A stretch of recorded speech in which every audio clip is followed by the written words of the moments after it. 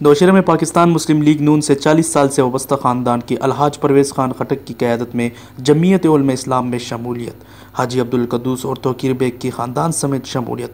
انہوں نے مزید کیا کہا آئیے دیکھتے ہیں اس رپورٹ۔ علیکم جی۔ آ، آج میں میڈیا کے ذریعے جو سوشل میڈیا ہے اس کے ذریعے آپ لوگوں کو بتانا چاہتا ہوں کہ ہماری جو خدمت تھی پاکستان مسلم لیگ نون کے لیے عرصہ دراز سے تھی تقریباً کچھ چالیس سال سے۔ پھر اس کے بعد جو ہے مسلم لیگ نون بنی جس کے صدر جو تھے میاں محمد نواز شریف صاحب بنے۔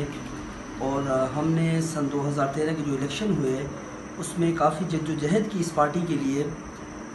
لیکن کچھ ایسے مسائل پیدا ہوئے جس سے مسلم لیگ نون کی قیادت جو دونوں شہرہ میں تھی انہوں نے ہماری کوئی بات نہیں سنی اور ہماری کسی مشکل پر بھی وہ ہمارے سامنے نہیں آئے۔ تو ہم نے سوچا کہ ہم آ، اس جماعت سے، مسلم لیگ نون سے مستفی ہو کر کسی اور جماعت میں شامل ہونا چاہتے ہیں، تو ہمیں مسلم لیگ نون سے بہتر جماعت جو ہے، وہ جمعیت علماء اسلام فے گروپ کا مولانا فضل الرحمان صاحب کا گروپ بہت پسند آیا۔